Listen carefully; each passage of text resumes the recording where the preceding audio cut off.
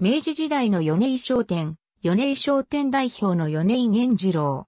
明治や明治ゴム製造所の社長、キリンビールの重役も務めた株式会社米井は、三菱冒険の企業で、機材、機器類関連を主に取り扱う複合専門商社。三菱商事系。同社は、建設機械、産業機械、工業用資材、映像機器、制御装置の5分野を主体とした専門商社。特命組合、磯野紹介2月、創始者、磯野系、共同事業者、米井源次郎として設立したこともあり、日本国内における食品卸の名門、明治屋が設立を主導し、同社とは創業者も概ね一致している。なお、三菱グループとの関係は後述のキリンビールや明治ゴム火星の設立に協力したことも背景にある。また、この関係上から明治年間はしばらく、磯野米井良家からの企業トップ輩出となっていたが、やがて磯野家が明治屋グループの経営にシフトしていったことから、後者の米井家が経営を主導。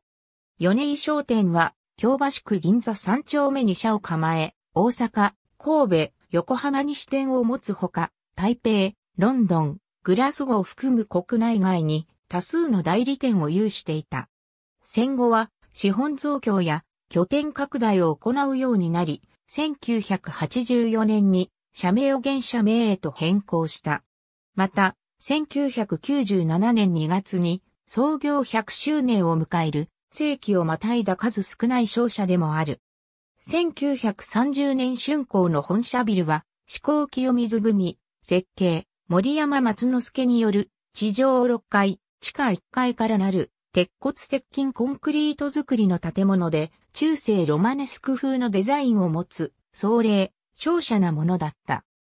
1階は重厚内視点の外壁に螺旋模様が施されたアーチ窓、2階以上の外壁はテラコッタタイルで隙間なく覆われていた。タイルの剥離が見られたため、1984年に2階以上の外壁や窓の改修が行われ見た目は様変わりしたが、銀座柳通りに今もあり、1階は内部が改装されて、洋菓子店、アンリシャルパンティエ銀座店として使われている。ありがとうございます。